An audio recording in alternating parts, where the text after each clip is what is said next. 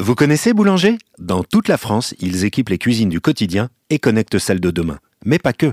Pendant le confinement, ils ont répondu présent. À leur initiative, plus de 100 000 bons cadeaux ont été offerts à leurs clients et autant aux soignants pour aller au restaurant. Chez Boulanger, on ne vend pas de pain, mais on fait aussi du bien au quotidien. C'est une équipe incroyable.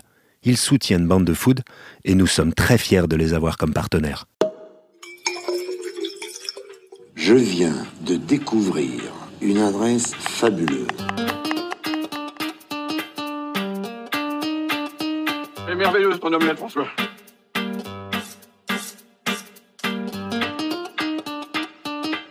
J'emmerde la diététicienne. On est déjà à moins 12 mètres sous terre. Au-dessus, c'est le soleil, en dessous, c'est la lave. Non mais c'est surtout la plus grosse maison de champagne indépendante. T'es pas sur RTL, là, lâche-toi. En fait, si tu manges pas de la merde, t'as pas besoin de détox. Et elle, c'est les couilles. J'aime bien quand il y a un peu d'audace. La rap, la mandoline, tu chipotes, tu chipotes, tu finiras par bouffer des biscottes. hein. Quand on monte un peu le volume, de toute façon, ça fonctionne en général. Bonjour à tous, bienvenue dans Bande de Food, le podcast où la cuisine est meilleure à plusieurs. Aujourd'hui c'est Champagne, puisque nous sommes à Reims, et pas n'importe où à Reims, dans la maison Tétinger. Tétinger c'est bien sûr une marque mythique de champagne, mais comme si ça ne suffisait pas, nous sommes dans un lieu magique. Dans le sein des saints, dans le coffre-fort de la banque, nous sommes dans la cave de la maison Tétinger, entourée par des millions de bouteilles de rêve. Pour profiter d'un lieu magique, il faut s'entourer de gens magiques et aujourd'hui on n'en manque pas puisque nous sommes avec Vitalie Tétinger, la maîtresse des lieux, la chef d'entreprise, bref, la présidente de Tétinger. Bonjour Vitalie et merci de nous accueillir dans ce lieu magnifique. Ouais, c'est un rêve. Bonjour Xavier. Il y a combien de bouteilles qui nous entourent là? Oh, un sacré paquet. Je crois 2 millions on m'a dit. hein. Ouais, un petit peu plus. On a de quoi, Quelques années. On a de quoi finir la journée tranquillement. Autour de toi, il y a une chef et une amie, Amandine Chéniaud, qui a travaillé dans les palaces les plus prestigieux, qui fait beaucoup de choses avec toi et qui a ouvert en 2019 Pouliche, la pépite gastronomique du 11 rue d'Anguin, dans le 10e. Bonjour Amandine. Salut. Il y a un grand compositeur de musique électro, Yuxek, Pierre-Alexandre, qui compose pour lui, pour les autres euh, ou avec d'autres, jusqu'aux Victoires de la musique, à la Mostra de Venise ou au Festival de Cannes. Salut. Puis dans une équipe, il y a les nouveaux, et puis il y a les piliers, comme Joe Star. Bonjour Didier. Bonjour, je suis un peu le Pierre Bénichou, moi, en fait. Avant de commencer fort comme ça, je voulais juste te remercier parce que ici, c'est pas seulement l'acteur, le rappeur et le producteur qui remplit les salles de concert à la vitesse de la lumière et qui affole les audiences qui vient dans le podcast. C'est un artiste qui est accessible et qui dit oui tout simplement quand on l'invite et qui donne les bons conseils au bon moment. Voilà, c'est dit. C'était pour ton ego surdimensionné. Merci ah ouais, non, je, Didier. je- je confirme, hein, j'ai passé une très bonne soirée grâce à toi hier, euh, devant la télé avec un plateau repas à Reims. euh, C'était magnifique. Ils reviennent en deuxième semaine et ça nous fait bien plaisir. Mathilde Samama, la plume gourmande de Elle à table, mais bien d'autres euh, médias encore, l'Obs, les Inrocks, etc. Bonjour Mathilde. Bonjour. Et David Rougier qui repère les bonnes bouteilles au premier coup d'œil puisque c'est le nom de son bar à vin qui se situe. Rue Sedaine, dans le 11e. Est-ce que tu peux nous décrire, Vitali, l'endroit dans lequel euh, on se trouve? Là, nous sommes dans les vestiges d'une abbaye du XIIIe siècle. Pas tout à fait encore dans les crayères gallo-romaines, juste au-dessus. On est déjà à moins 12 mètres sous terre. Et euh, C'est mieux que ses pieds sous terre. C'est mieux que six pieds sous terre, ça sent moins le sapin. Et là, euh, on est dans une espèce de petite euh, crypte. Et C'est quoi la surface, là, ici? Parce que ça a l'air très grand. Il y a 4 km de galerie. Ouais, il Ah faut ouais. prendre le métro Ah, quand pour euh, se balader. Vous avez des petites voiturettes de golf et tout ça euh, Bah, on n'a pas encore l'âge, mais peut-être qu'on y pensera un jour. Didier, tu avais déjà fait? Parce que toi, tu as fait beaucoup de distilleries.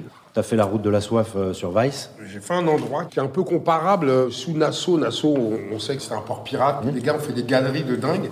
Et je suis allé chez un des types qui a une des plus grosses caves au monde. Euh, pareil, il avait quelques millions de bouteilles aussi. Euh, ça avait cette même ambiance, quoi. Il paraît que les soldats ont vécu ici pendant la guerre. On est euh, à Reims et en Champagne, dans le théâtre des plus grosses guerres qu'on ait connues. Je pense que le sang de toutes les nations se trouve aujourd'hui dans les sols champenois. Tu te dis, on fait un vin qui est un vin de la fête, du bonheur, etc. Mais quand même, ici, sur les murs, sur les parois, gravés dans la craie, il y a des messages de toutes les époques. C'est vraiment un lieu magique. Et alors, quand on a préparé cette émission ensemble, je t'ai proposé d'inviter des amis, et Mhm. tu m'en as donné deux, Amandine et Yuxek. Euh, Yuxek, ça veut dire quoi? C'est rémois ou c'est... Ça sent l'opioïde, non? C'est turc, ça veut dire auteur avec un H. C'est à un moment j'ai fait des morceaux, je cherchais un nom et puis bah, je le trimballe depuis 15 ans. mais Remarque, il y en a un qui a créé des ordinateurs qui s'appelle Pomme. hein. C'est pas faux. Je m'appelle bien Joey Star, tu vois. Donc, euh, voilà. Ah oui, d'ailleurs, pourquoi deux R? Pour ringard récidiviste, euh, écoute, euh, Ringo Starr avait deux R, je me suis dit pourquoi pas moi? Avec Vitali, vous vous connaissez depuis longtemps On se connaît pas du tout en fait. Non, on ne connaît pas. Non, non, j'exagère. Je t'entendais sans te connaître parce qu'en fait, tu fais tes propres musiques, tu fais des collaborations, Oui, ouais, ouais. des collabs, comme on dit. Il y a des mots comme ça qui émergent. On dit aussi Ça featuring en musique. Enfin, ça dépend de la manière, quoi. On dit ça aussi. Si ça te dérange. Euh, ben non, vas-y. Ah, ben, Rappelle-moi David Abiker, s'il te plaît. Faire le maître Capellovici parfois. on peut t'entendre dans une série qui cartonne, puisque tu as fait la musique de la série. En thérapie. Il y a que 35 épisodes, donc on est sûr de tomber sur toi. Ouais, c'est un peu récurrent. Puis en plus, sur Arte, on peut pas zapper les génériques automatiquement. Donc, euh, Avec nous aussi, on a Amandine.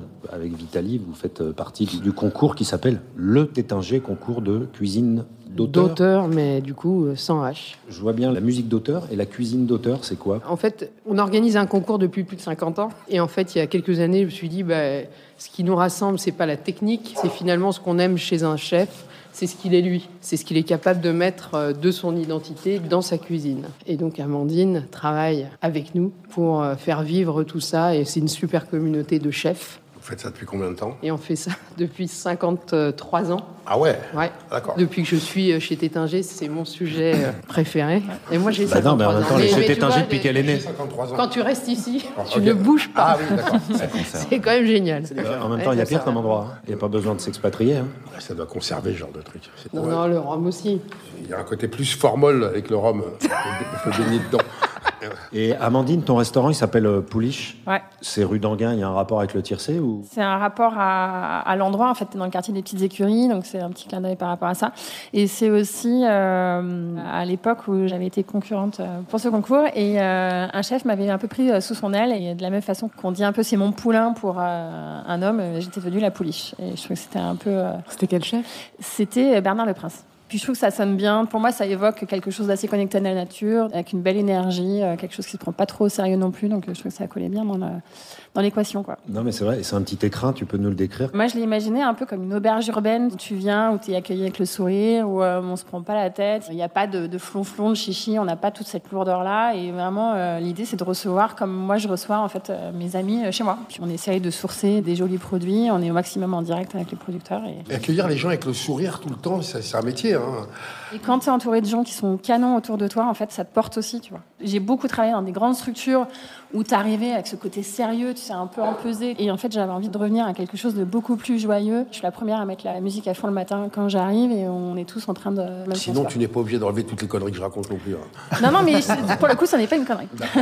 Je ne sais pas d'ailleurs dans quel palace tu n'as pas travaillé, puisque tu as travaillé pour le Plaza Athénée, le Ritz London, l'hôtel Bristol, l'hôtel Le Meurice, le Crillon. Ouais. Qu'est-ce qu'on apprend dans un palace qu'on n'apprend pas dans un restaurant et qu'est-ce qu'on apprend dans un restaurant qu'on n'apprend pas dans un palace? Pour moi, j'allais pas bosser dans un palace, j'allais bosser pour un chef. Quand aujourd'hui tu es à Paris, tu veux bosser euh, pour euh, des mecs qui sont euh, vraiment tout en haut, tout en haut du ranking avec des trois étoiles, bah, c'est quand même très souvent dans des palaces. Et moi, je suis pas allée bosser au Meurice pour bosser au Meurice, je suis allée bosser au Meurice parce que je voulais bosser pour Yannick Allélo, tu vois, des trucs comme ça.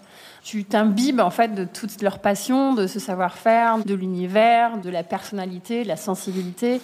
Et c'est aussi pour ça que j'ai travaillé avec beaucoup de mecs très différents parce que j'avais pas envie d'avoir un formatage et de bosser euh, toute ma vie pour euh, un tel ou un tel. Puis après, le souhait de revenir à un format beaucoup plus simple, c'est justement d'avoir. Enfin, tu vois, mon dernier poste, c'était à Londres. Je gérais 120 personnes, j'avais 5 points de vente et je passais mon temps à faire du reporting à Hong Kong et à faire des tableaux Excel. Et en fait, c'est pas ce que j'aime dans ce métier. Moi, j'aime bien quand, euh, tu vois, on boit un coup en fin de service parce qu'on a fait un, un super service, que tu as les mecs qui viennent te voir en disant Ah putain, c'était trop cool et tout, mais c'était quoi la sauce? En plus, tu vois, on a une cuisine hyper, hyper ouverte. Et, et moi, je fais ce métier-là pour ça, pour le partage et euh, pour me marier avec les équipes et les clients. C'est quoi la cuisine que vous faites euh, dans ton resto? Déjà, on n'a pas de carte. On n'a même pas de menu écrit, c'est-à-dire qu'on on change en- tous les jours en fonction des arrivages, de ce qu'on veut, de la météo. C'est une cuisine hyper euh, spontanée, assez simple, entre guillemets, si tu veux. Je déteste quand tu vas au resto et que tu as un mec qui te donne un, un énoncé euh, qui fait quatre lignes et qui te dit euh, qu'il faut manger ça avec ça, et puis ça avec ça, et puis surtout tu manges ça en dernier, parce que, mais, en fait, t'es pas à l'école, quoi. Toi, David, quand tu as créé Coup d'œil, tu avais envie comme ça aussi d'être libre? J'ai fait pas mal de grandes maisons comme Amandine, Meurice, Ouais, on a bossé ensemble, d'ailleurs. Bristol, ouais. Moi, je me suis rendu compte que j'adorais bosser pour ces grandes maisons-là, mais en fait, je me suis dit que j'avais envie de faire plaisir en fait au, au plus grand nombre, et je voulais euh, voilà créer un lieu de vie, un lieu de fête où on boit des coups, où on mange euh, et on boit pour des prix raisonnables. Toi, Amandine, tu as dit j'ai pas forcément envie d'avoir des étoiles, j'ai envie d'être heureuse. C'est hyper courageux en fait. J'avais envie, enfin, je suis hyper investie dans mon restaurant. Il n'y a pas une journée où j'y suis pas, mais en même temps, j'ai pas envie d'être esclave de mon affaire, si tu veux, déjà d'une part. Et en fait, je me rends compte qu'aujourd'hui, en tant que cliente, moi, c'est pas là où je prends le plus de plaisir, c'est pas d'aller dans les étoilés. Je vais euh, dans un restaurant avec plaisir pour le chef, mais pour moi, le chef et les étoiles sont deux choses distinctes. Alors, pendant ce confinement, tu t'es mis à faire des tutos que tu as appelés les tutos des potes. Je l'ai trouvé particulièrement euh, convivial. On a vraiment l'impression d'être euh, quasiment que tu viens chercher la personne dans la vidéo. Ouais. Premier confinement, donc on a fermé les restos et je me retrouve, j'avais la chambre froide qui était blindée de cam parce que euh, c'était un gros service, on avait des gros services. Le, jour où il y a eu le premier Ouais, en confinement. mars. Et grosse saison d'asperges, j'avais, je sais plus, au moins six colliers d'asperges et tout. Puis du coup, j'en ai filé à tous mes potes. Je vais te laisser continuer. Est-ce que tu peux juste nous lire le petit message que toi, tu avais mis sur les réseaux sociaux? Euh, je disais, j'ai pas les mots. J'ai le cœur déchiré devant cette crise sans précédent qui met à mal tout un continent. Déchiré d'avoir dû fermer la porte après six mois d'exploitation alors que nous avions déjà traversé des moments difficiles. Déchiré de voir les supermarchés dévalisés alors que les petits producteurs, eux, sont paralysés. J'ai tellement de questions sans réponse, tellement d'incertitudes. Je pense à tous mes confrères et tous les petits, les indépendants, les agriculteurs, les pêcheurs, les éleveurs, ceux qui ont les mains marquées. Prenez soin de vous. C'est un truc auquel les gens pensent pas, mais c'est tout le stock que les gens avaient quand on leur a dit du jour au lendemain, euh, bon, bah, on, a- on arrête, on ferme, là. Tout le monde s'est retrouvé avec ça sur les bras. Elle a fait un truc vachement bien pendant le confinement, c'est que euh, elle, elle s'est pas tout de suite lancée dans la vente à emporter. Elle s'est dit en fait, euh, qu'est-ce que je vais faire? Elle a ouvert un marché. Et ça, c'était vachement malin. Elle va le raconter mieux que moi, Comment t'as mais fait? T'as ouvert un marché où? Ben, en fait, j'ai viré toutes les tables et les chaises et j'ai mis des cagettes de poireaux. Et j'ai vendu euh, des patates, des poireaux, des Elle a ouvert un asperges. marché, euh, elle des- fait épicerie. Non, je rigole. Bah, non, mais c'est ça. hein. C'est ça. J'ai joué à la marchande et ça m'a fait marrer, quoi. Oui, mais c'est pas ça qui était le Et plus important. C'est pas le fait de jouer à la marchande, c'est de se dire voilà, euh, ce que je vais faire, c'est que je vais pas cuisiner, mais je vais continuer à faire bosser les gens euh, qui euh, d'habitude amènent euh, leurs légumes, euh, leur fromage, leur poisson, Mm. leur viande chez moi. Et ça, c'était vachement fort parce que comme elle a un sourcing qui est très pointu et qu'elle va chercher souvent des gens qui sont quand même un peu paumés. bah, ça leur donnait eux aussi l'occasion de Mm. travailler euh, toujours. Et moi, j'ai trouvé ça euh, très chouette et très honnête. Les bonnes adresses, tu les as eues dans les palaces ou? Les mecs avec qui on travaille, les fournisseurs, les, euh, les agriculteurs et tout, c'est des mecs que tu connais depuis des années. Et en fait, l'idée, elle est venue euh, de- bah, du producteur d'asperges euh, que je connais depuis 15 ans, quoi. Et en fait, le, le système qu'on a, c'est qu'on s'appelle deux fois par semaine. Enfin, tu vois, donc tu as quand même une relation de confiance, on se connaît. Moi, je suis allée chez lui, on a bouffé ensemble, je connais son chien, j'ai vu ses enfants, enfin, tu vois. Et, Comment il va, euh, son chat? Écoute, il va plutôt pas mal, il vit plutôt mais- bien le confinement. les femmes. Putain, mais moi, j'en ai marre. Excuse-moi, c'est sorti tout seul. Faut opérer, il a une Et, euh, et donc, c'est pas neutre comme relation, si tu veux. Et puis, quand t'as le mec qui te dit, euh, franchement, je suis dans la merde, on a, euh, enfin, tu vois, un stock d'asperges. L'asperge, je sais pas si t'imagines, mais en fait, tu la ramasses, elle continue de pousser. Donc, c'est un produit qui est hyper fragile. Souvent, c'est une, une Comme les production oreilles. qui est très spécialisée. Et le nez. Pourquoi tu me regardes? Ah, ah, pas du tout.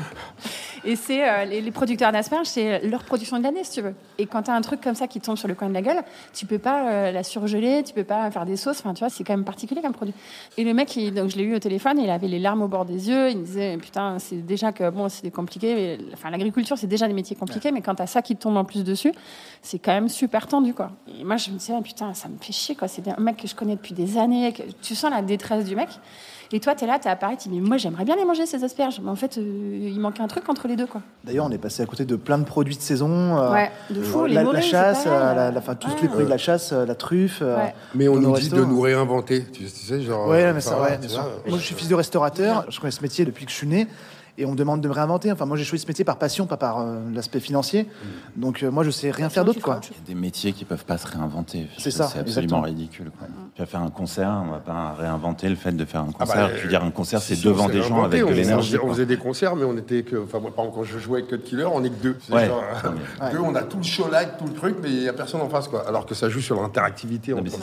Voilà. C'est pareil pour vous, quoi. C'est Vous avez besoin pour le de- milieu de la mode avec les défilés de mode en Mathilde. Visuel. Ça n'a rien à voir avec les, À un les moment, c'est un défilés. euh, échange. quoi. On doit se sentir super mégalo. Moi, Le je public va suis y tout le temps mégalo. euh, c'est pas faux. C'est pas un problème, ça. Mais moi, j'aime ça. Euh, Justement, d'ailleurs, euh, même quand il n'y a pas de concert, on te voit partout, puisque euh, si Amandine fait des tutos, toi tu fais des stories. T'as quand même le pouce euh, facile. Je suis une grosse blogueuse.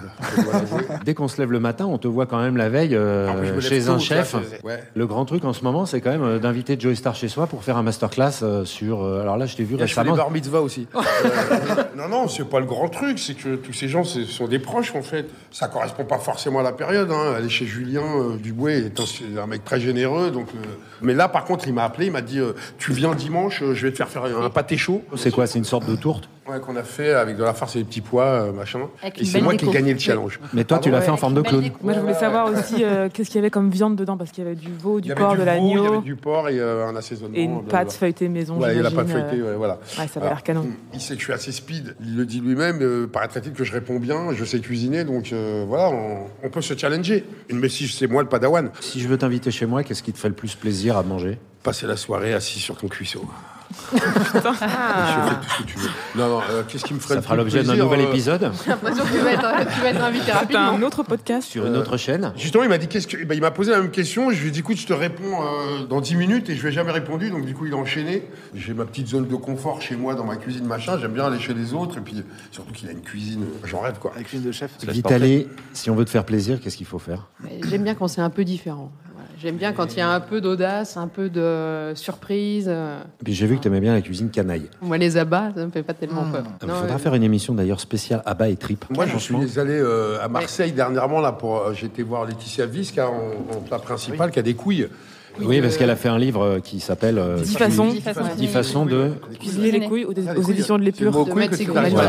T'es pas sur RTL, là, lâche-toi. C'était pour euh, laisser parler les filles d'abord. Je citais juste la maison d'édition qui est fantastique, qui s'appelle les éditions de l'Épure, qui font que des petits manuels comme ça, 10 façons de les préparer. Et elle, c'est les couilles. Et c'est Laetitia Avis, qui a un restaurant qui s'appelle La Femme du Boucher. Aller la voir, ça m'est venu parce Tout que j'avais. on- tour, euh. On m'avait offert un recueil. euh, particulier. un truc qu'avait écrit Hemingway euh, et où il expliquait euh, comment cuisiner. euh, il y avait une façon de cuisiner les couilles de taureau. Ce je l'ai pas retrouvé, mais on a fait de la recherche et on est tombé sur Laetitia. Et voilà. Mais on a fait des Rossini, on les a fait euh, Forestière, on les a fait euh, Pané, on les a fait. euh, Carpaccio. Amandine, Pareil. si on veut cuisiner pour toi, qu'est-ce qu'il faut faire? Un truc qu'on met au milieu de la table et où tout le monde euh, pioche dedans.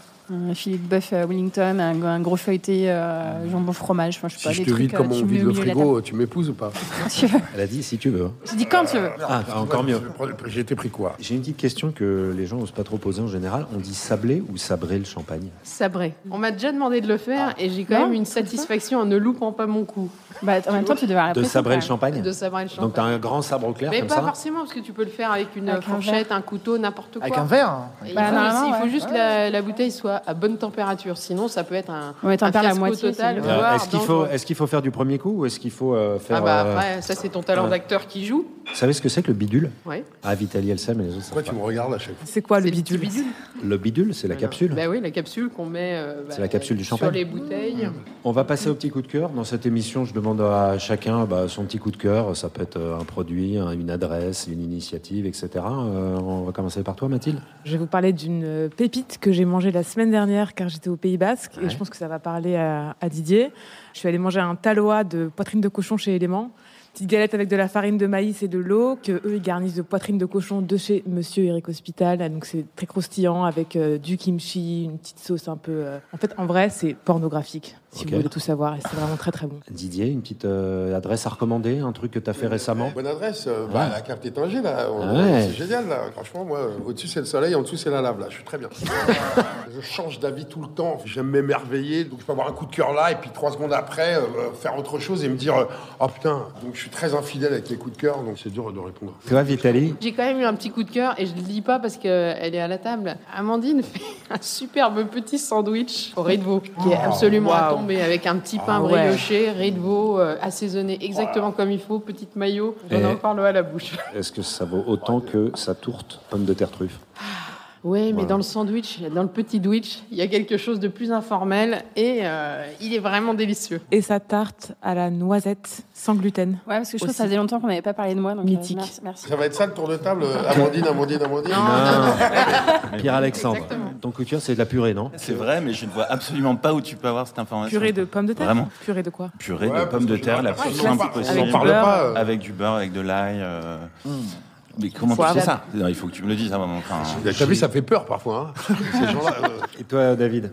Je pense que vous connaissez un peu le fromage corse qui s'appelle le brochu. ouais. Moi, je l'avais mangé bah, à Paris ou en province ou en France, quoi. Et je reviens de Corse, et quand tu le manges tout juste fait du matin, il est encore chaud. Tu manges à la cuillère, ou alors tu mets juste un petit peu d'huile d'olive, de l'échotte et du vinaigre, et c'est n'importe quoi. Il y a une texture la- complètement différente. L'accord, c'est toujours en France. hein. Moi, je dis que la question n'était pas très précise parce que j'aurais pu dire aussi euh, petit camembert de bouffala euh, qui est mieux que la vache qui rit, tu vois. euh, tac, tac. Oui, mais c'est voilà. trop tard. Il fallait le dire quand bah c'était ton je- tour. Tu sentais bien que Non, dans mais mon sois pas fâché, sois pas fâché. Ce qu'on va retenir, c'est que tu t'es mis la pression. Je suis caribéen, moi, la pression, on connaît pas, nous. On est dans le flegme, Bah, nous, la- par le contre, flegme. ici- Par contre, ici, tu disais Bah, la pression, on connaît, Ah bah oui, bien sûr. D'ailleurs, c'est quoi la prise de mousse comme son C'est nom l'indique. avec la pression Et j'aime beaucoup ces questions où la réponse est dans la question. Espèce explique-nous. De petite magie de la fermentation. C'est quand le, le vin devient euh, gazéifié. Quand la bulle arrive euh, élégamment, C'est quand petit à petit il devient euh, effervescent. Est-ce que ça se marie bien le rhum et le. Tiens, on va demander ça à l'ancien sommelier. Bien le rhum tu et peux le... me le demander à moi, hein, en fait. Est-ce que ça se marie bien le rhum et le champagne Lui, il est trop technique, à mon avis, pour faire ce genre de conneries. Il faut, il faut que le cœur parle là. J'avoue que je suis encore dans les réglages.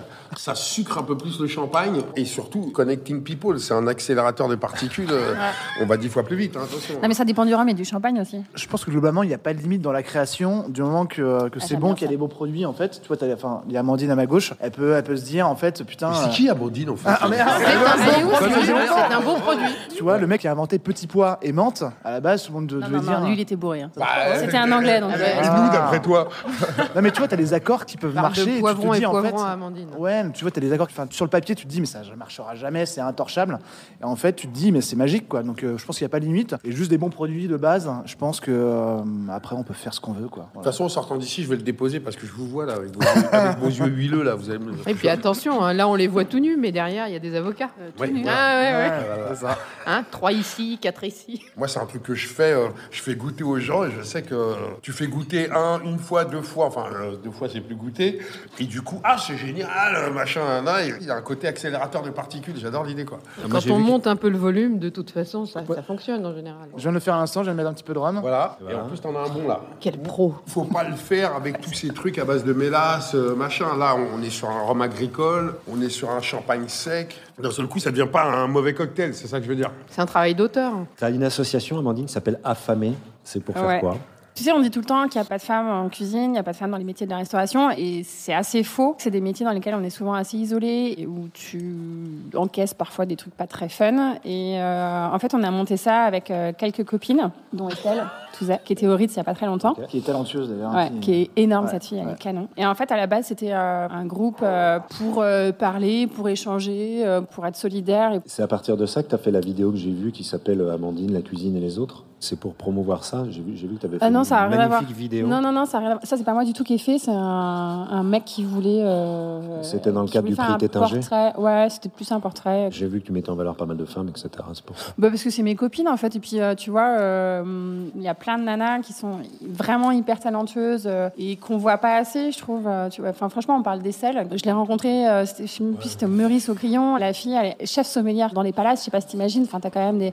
euh, Et des- il y a des clients qui Ouais. voulaient pas être servis Ouais, ouais. par, par la chef sommelière en fait. De du, fuck, pardon. Du, du Ouais. Meurice, mais c'était complètement. Enfin, c'était Ah dingue, ouais. ils voulaient être servis Ouais, par le second chef Et sommelier. le mec, un client, Ouais, t'imagines, qui lui a dit dans les- droit dans les yeux Non, mais le palais d'une femme ne m'intéresse pas. Ah ouais, ouais. Et ils sont, la- la euh, ils sont un petit peu trompés de pays là. Tu peux pas dire que le mec est même pas éduqué ou quoi. Tu vois, tu peux même ouais, pas lui trouver une excuse ouais, au mec, ouais, quoi. Voilà, et moi, quand j'ai des nanas comme ça autour de moi et, et Vitali, je me dis, bah. Ça, c'est parce qu'il a une vie sexuelle très pauvre. Je pense Alors, aussi, ouais. euh, Non, mais là c'est le moment de parler de Pierre-Alexandre. Thérapie. T'es allé chez le psy pour euh, faire le- la musique dans thérapie? Si je vais chez le psy, euh, oui. Si j'y vais pour en thérapie, non. Amandine, il y a un mot qui te fait rire, c'est le mot détox. Ouais, ça me fait un peu chier parce que, en fait, si tu manges pas de la merde, t'as pas besoin de détox, en fait. Il faut juste arrêter de bouffer de la merde. Moi, j'aime mes toxines, donc euh, je suis bien dans ma crasse. Est-ce que euh, quand vous êtes en cuisine, euh, il y a un ustensile que vous aimez particulièrement? Je sais pas, moi j'aime bien les concombres, j'adore euh, peler les concombres ou des choses comme ça. Peler les concombres. Donc, euh, tu le fais souvent? Tu peux refaire le ça me geste, détend, moi. Il y en toi, a ils qui sont comment, bricolent. les gens Parce Et moi, que je moi, j'aime les bien qu'une concombres. famille nombreuse, ils aiment te voir peler les concombres. Comment ça se passe? Je repose ma question. Est-ce que quand vous êtes en cuisine, il y a un ustensile que vous aimez bien? Moi, je dirais la mandoline. Tu peux faire plein de trucs avec la mandoline. Enfin, euh, Moi, je serais plus rap. J'aime bien la rap. La rap. ah, la rap, la mandoline, tu chipotes, tu chipotes, tu finiras par bouffer des biscottes. David, un petit outil. Le fouet. Parce que le samedi soir, j'aime bien émulsionner. Et toi, Amandine? J'ai tendance à accumuler euh, vachement. C'est un truc les- de les- femme, là, les sextoys, elles en ont plein. Euh, ouais, aussi. Euh, Ça, ça sera en deuxième partie de podcast. Mais euh, je- j'accumule un peu le matos de cuisine, ouais. Ça et les chaussures. Pour classer les crus de Bourgogne, il y a premier cru, grand cru. Pour les champagnes, comment c'est? Mais c'est pareil. On a aussi cette classification. Moi, ce que j'aime, c'est qu'aujourd'hui, euh, les crus sont références. Et c'est vrai que de façon totalement objective, il y a des vins qui sortent de ces crus qui peuvent être extrêmement précis, magiques et qui ont des choses. for- hein. Mais aujourd'hui, quand on travaille bien son terroir, on peut obtenir euh, des choses fantastiques. Donc, on peut aussi euh, se libérer de l'échelle des crus. Il y a ce que nous donne la terre, puis il y a ce qu'on en fait. Et alors le must chez vous, c'est le comte de champagne blanc de blanc? 2008, c'est ça? C'est vrai que le 2008 est une très belle année en, en compte de champagne. ouais. C'est ce qu'on boit d'ailleurs en ce moment. Exactement. Le champagne, c'est bien de le boire, mais il faut savoir aussi en parler. Qu'est-ce que ça veut dire blanc de blanc? Ça veut dire seulement avec du chardonnay. Parce qu'il y a aussi du chardonnay, du pinot et du pinot noir et du pinot meunier. Et puis il y a d'autres cépages en Champagne, mais nous on travaille avec ces trois-là. Il y a un village qui est un peu mythique en Champagne, qui s'appelle la Côte, des... enfin pas un village, un terroir hein, qui regroupe plusieurs villages, qui s'appelle la Côte des Blancs. Et c'est vrai qu'on a euh, des chardonnays qui sont euh, magnifiques là-bas. On travaille avec cinq villages. Et pour le compte de Champagne, qui est vraiment euh, ce que nous, on imagine pouvoir faire de mieux avec le chardonnay, on utilise ça. On n'utilise que la première presse, les jus les plus purs. Et en fait, le projet de ce vin, c'est de durer dans le temps. Et là, voilà, il repose dans les caves où nous sommes aujourd'hui euh, plus de 10 ans. Et ce qui est intéressant, c'est quand ils sortent, ils sont hyper jeunes. Et moi, je sais qu'en 10 ans, j'ai un peu pris, mais pas eux.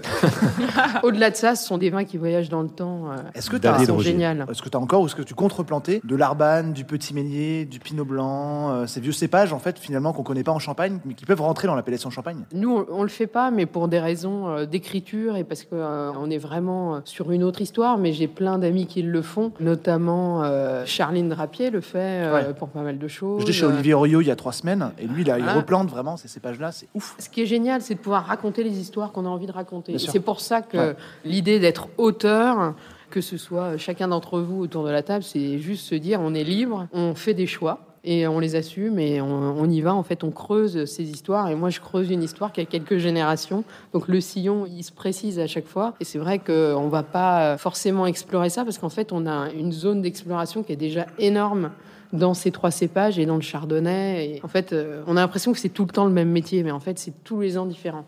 Parce que le climat évolue, parce que les assemblages, hein, vous goûtez les crus en vin clair chaque année, ils sont différents, ils s'expriment de façon différente. Il faut que vous écriviez un peu la même histoire, mais toujours avec des mots différents. Est-ce que parfois, euh, on pourrait dire, vous, vous faites un reset, vous repartez à zéro, ou vous êtes toujours dans le sillage de votre histoire euh, Mais en fait, c'est ça la différence entre euh, vous. Ce qui est génial, c'est que vous construisez votre histoire sur vous. Moi, je traîne l'histoire.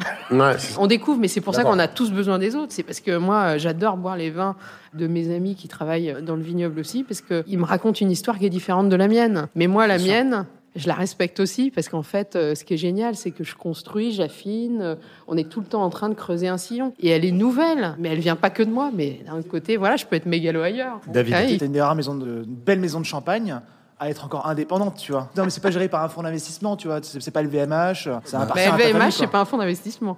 Non, mais c'est surtout pas- la plus grosse maison de champagne indépendante, et puis c'est surtout la seule dont le nom est encore lié au nom du propriétaire euh, Ouais. à la famille. Alors moi, ce que j'aime dans notre histoire, c'est une histoire d'héritage et en même temps, c'est une histoire de liberté totale parce qu'on l'a gagné, qu'on a racheté et qu'on rachète tous les jours. Pour nous, ça a un sens parce qu'en fait, euh, ce qu'on fait aujourd'hui, c'est que on s'est dit que cette histoire, elle est magnifique et qu'on a envie de la projeter dans le futur et de la faire vivre. Et que dans la faire vivre, il y a intégré aussi euh, bah, la vie euh, d'aujourd'hui. Il y a la tradition, mais il y a aussi euh, bah, ce qu'on fait là. On élargit tout. Moi, je vais te poser une question qui a été écrite par Patrick Topalov. Celle-là, je m'en méfie. Je me Je prépare. pense que vous nous avez fait boire combien d'hectolitres? Ne réponds pas. Le volume, c'est pas tellement parlant. Mais on est un peu au-delà des 6 millions de bouteilles. Et en fait, c'est une maison qui n'a pas une vocation à grandir beaucoup. Quel est l'endroit où on boit le plus de champagne enfin, par Hormis la France, l'Angleterre. Moi, Les Anglais. moi, quand je faisais la route de la soif, on, on m'avait expliqué qu'il y avait la, la Guadeloupe qui détenait le Ah, alors attends, oui, là, tu mets le point sur un cas euh, particulier. particulier. Ouais, Bah, la que- Guadeloupe, euh, c'est. En fait, le champagne, c'est quand même. Mais c'est euh, un marqueur la- social. c'est la- enfin. Et c'est la fête. Non, vrai mais tu sais que pour le whisky aussi, le Dans whisky, l'endroit où on, boit, on boit le plus de whisky au monde euh, par habitant, c'est la Réunion, s'il te plaît. Ah, tu m'apprends un truc. J'aurais jamais dit qu'en Guadeloupe, parce que- J'aurais dit Bah, ça aussi entre la Martinique et la Guadeloupe. Et pour le whisky, donc, c'est la Réunion. Là-bas, c'est le marqueur social ultime. Tu vas à un anniversaire, tu vas à un machin, nan, nan. Bon, il faut pas trop de bar mitzvah, mais euh, Si t'as pas ton champagne, t'as raté ta vie. Non, si t'as pas ton whisky, s'il te plaît. Et euh, tiens, David, tu peux peut-être nous aider parce que quand j'ai lu la fiche sur les comptes de champagne blanc de blanc, il y avait des termes parce que le champagne c'est bien de le boire, mais c'est bien de savoir en parler. Qu'est-ce que ça veut dire L'attaque est vive? L'attaque est vive, ça veut dire que tu vas avoir en fait de l'acidité dès le départ, mais une acidité plus minérale, je pense. Ce côté vif, c'est le côté tendu qui va te réveiller en fait et te donner du punch. Je dirais ça après. Je pense que chaque interprétation du goût est différente par rapport à chacun. Faut arrêter de dire que en fait. À mon sens, hein. je pense que la contre-étiquette, il devrait y avoir juste marqué les cépages et pas trop de description du vin. Parce qu'en fait, toi, tu vas sentir qu'elle est vive, toi, tu vas sentir qu'elle est euh, plus tendre, plus grasse. Et je pense qu'on est tous différents. Ouais, c'est propre euh, à chacun, ouais. Euh, le rhum que je t'ai C'est fait pas sur boire, la la- l'attaque est vive alors ou pas? La- L'attaque est assez gourmande, assez soyeuse pour moi. Et qu'est-ce qu'on appelle une tension délicate? Alors c'est délicat, bien. est-ce que ça te parle? C'est dans la fiche du champagne. C'est hein. un truc sexuel, ça, non? Ouais, c'est. Une tension délicate. C'est très sensuel. hein. Pan food, il y a pan drink Pan aussi, drink, comme dit Amandine. Il ne va pas te répondre. Euh, non, je répondrai pas. Il a dit Joker et moi je retiens, change tes fiches techniques. tension délicate, la tension quand même. On sent qu'il y a quelque chose qui soutient et qui est en lien d'ailleurs avec un peu l'acidité. Et délicate, c'est que T'es en train ça de nous faire t'arrache pas la l'étymologie de chaque mot, c'est ça que tu fais là? Quand vous faites un champagne, vous improvisez. Il y a une part d'improvisation ou est-ce que euh, c'est hyper scientifique? C'est humain. Il y a un chef de cave et le chef de cave, il goûte tout et il fait ses assemblages en fonction de sa référence qui est son palais. Même les assemblages varient euh, chaque année un petit peu, etc., pour obtenir toujours ce qu'on cherche. Tu doses euh, combien, par exemple, le compte de champagne euh, Compte de champagne, on est à 8 grammes. C'est hyper fondu, hein, je trouve. euh, Mais- Dosage, c'est euh, la liqueur de ce qu'on appelle. La liqueur de dosage. Je trouve que c'est hyper fondu, il n'y a pas de sucre euh, résiduel, c'est beau. Qu'est-ce que la liqueur de dosage Toi, Désolé ça devrait t'intéresser. béotien moyenâgeux, Non, non, mais euh, c'est une vraie question. Non, non, mais le champagne, en fait, quand il sort des caves, on a fait en sorte que le dépôt qui est créé par les levures, etc., descende dans le goulot. Ensuite, on le remonte à la surface. D'où la, la position D'où la position des pupitres. En fait, c'est la dernière opération avant de fermer la bouteille qui permet aussi euh, de finaliser le goût de ton champagne. Alors, quand on dit euh, liqueur de dosage, aujourd'hui, il y en a qui ne le font pas. Tous ceux qui décident justement euh, de laisser s'exprimer la matière. Les brutes nature. Voilà, les brutes nature. Nous, on le fait déjà parce qu'on travaille avec le chardonnay, qui est un cépage qui est assez tendu. Et aussi parce qu'en fait, euh, la liqueur de dosage, dans le vieillissement, a vraiment euh, un rôle. Elle crée une forme de, patine, de gras. Enfin, en tout cas, c'est une sensation que nous, euh, on recherche. Et pas parce que c'est sucré. Il y a quand même du sucre dans la liqueur de dosage. Donc, il y en a qui disent c'est trop dosé parce qu'ils sentent ce sucre. Mais en général, quand tu as fait ton projet dès le départ avec euh, ta matrice vin, etc., il n'y a pas de raison qu'on sente le sucre. Et si en plus, après, tu laisses du temps entre le moment euh, du dégorgement et le moment où tu mets les bouteilles sur le marché, en fait, ce sucre, il est totalement absorbé. Mais par contre, plus tard, ça peut compter. Et le compte de champagne, qui peut vieillir jusqu'à 20, 30, 40, 50 ans, là, euh, tu te dis, euh, aujourd'hui, on a des vieux comptes. C'est des vieux comptes de pirates. Parce que tu sens que, bah voilà, à l'époque, il y avait un dosage d'ailleurs qui était énorme aujourd'hui et qui correspond aussi aux conditions climatiques. Mais il y avait un dosage qui était, je crois qu'on est monté jusqu'à 18 grammes euh, pour le compte de champagne. Aujourd'hui, on a des vins qui sont euh, d'une fraîcheur et qui sont excellents. Avant de quitter euh, la cave, je voudrais juste vous parler d'espace. J'ai vu que toi, euh, Pierre-Alexandre, tu avais fait un clip avec Thomas Pesquet. Alors, deux choses, c'est pourquoi et comment on arrive à avoir Thomas Pesquet en direct de l'espace pour faire un clip? J'aimerais bien raconter un truc incroyable, mais en fait, il a parlé une fois quand il était dans sa préparation avant son premier départ. Un journaliste lui a demandé ce qu'il écoutait comme musique et il m'a cité. Et je lui ai envoyé un tweet, euh, on a discuté, on s'est vu deux semaines après, euh, et moi, mon album était quasiment fini. Bah, ça, c'est incroyable déjà. Quand Il est même. parti avec, et une fois là-haut, on, on continuait à communiquer un peu, et, je lui ai dit voilà que j'allais sortir un clip sur un truc. Si Moi, ça- je trouve que tu te la joues un peu quand même. Non, mais non, j'essaie de faire hyper simple. Je trouve que tu tortilles vachement du cul quand même. Bah, euh. T'as vu qu'il est quand même pas mal dans la communication. Il y a- Sachant que dans les caves, on ne capte même pas. Vous communiquiez euh, comment Tu lui as envoyé un petit texto et il te répondait euh Non, on faisait des FaceTime. Encore pire.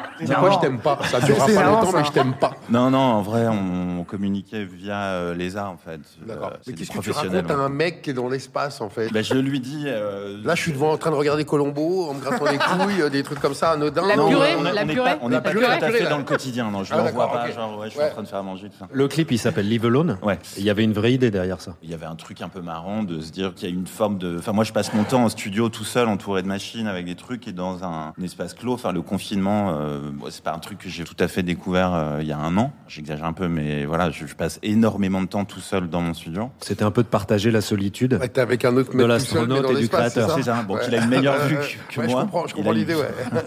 Et c'est un ami, euh, Jérôme de Gerlache, un ami belge, qui a réalisé le clip. Et en fait, le truc, ce qui était assez chouette, c'est qu'au début, on lui a demandé des images. Et en fait, Jérôme le dirigeait du sol depuis l'espace. Enfin, on faisait des échanges de mails à peu près à, enfin, à quelques heures d'écart en lui disant Tiens, tu pourrais faire un plan genre, un peu plus comme ça. Mais pourtant, nous, on croit que ces mecs sont occupés parce que c'est ce qu'ils nous vendent. Ils ont un programme de dingue, machin. Et il a le temps de branler le mamoute avec toi, en fait. Euh, genre, tu suis euh, pas son compte Je euh, te trouve un tout petit peu méprisant sur la valeur de mon travail. euh.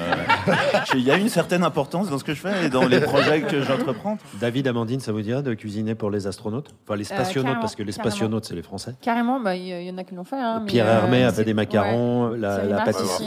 des macarons et charcuterie. C'est euh, le intéressant parce que tu as des contraintes en termes de matière et de texture et tout ça. Et j'ai un, un très bon ami, là, Eric euh, Guérin, qui a bossé sur euh, justement toute la partie food d'un mec qui part en transatlantique. Ah, il est en Vendée. Exactement. Ouais. Ouais. Et ben, c'est un peu les mêmes problématiques. Enfin, ça t'oblige à prendre vachement de recul sur ce que tu fais et je trouve ça hyper intéressant. Faire à manger, pourquoi pas. De toute façon, moi, je suis toujours un peu perché, donc euh, ça me va pour l'espace. Moi, j'ai une question. Parce que c'est quand même le pro des fêtes. Que Pas tu dis, bah si, je si, si. les fêtes, Bah moi. ouais, mais quand même. C'est mon travail, c'est pas une passion. Bon, bref, pour finir sur Thomas Pesquet, si tu peux juste lui envoyer un petit tweet, il est le bienvenu. Je lui enverrai un fax. Un telex. J'ai l'impression que Thomas Pesquet a hâte de te voir arriver. Ouais, parce que moi j'ai une vraie question à lui poser, c'est est-ce que euh, l'apesanteur, ça joue sur l'olfactif? On va remonter à la surface pour aller déjeuner. Merci Vitali. Merci à tous. C'était Bande de Food. On pourra pas faire mieux la prochaine fois tellement on était si bien ensemble. À bientôt. Merci encore. Vous pouvez retrouver toutes les adresses, toutes les recos et toutes les photos de l'épisode sur notre Instagram Bande de Food ou sur le site internet bandedefoot.com. À bientôt!